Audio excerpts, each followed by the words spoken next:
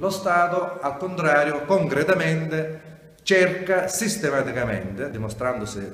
patrigno, sistematicamente di disconoscere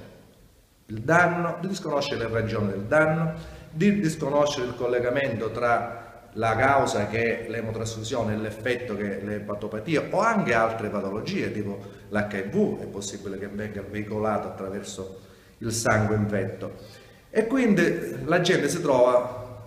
lo Stato che gli chiude la porta blocca si asseraglia cercando di non pagare quello che sarebbe già solo moralmente ma anche giuridicamente, giuridicamente doveroso per lo Stato di riconoscere devo dire che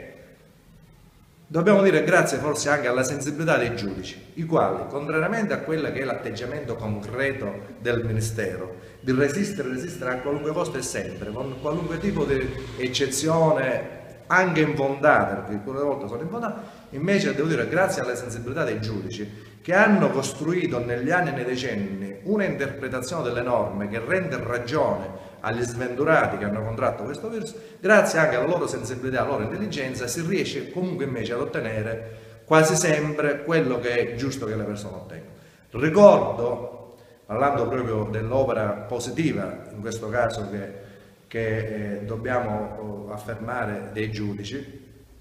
che anche la Corte di Giustizia Europea, il CEDU, ha recentemente condannato il, il, lo Stato italiano per il ritardo. Vi è un recentissimo pronunziamento del gennaio 2016 di quest'anno che ha condannato il, lo Stato italiano proprio per ritardi sia nel riconoscimento e sia anche nell'erogazione poi degli appannaggi parzialmente refusivi di quello che era il, che spettava invece ai soggetti danneggiati.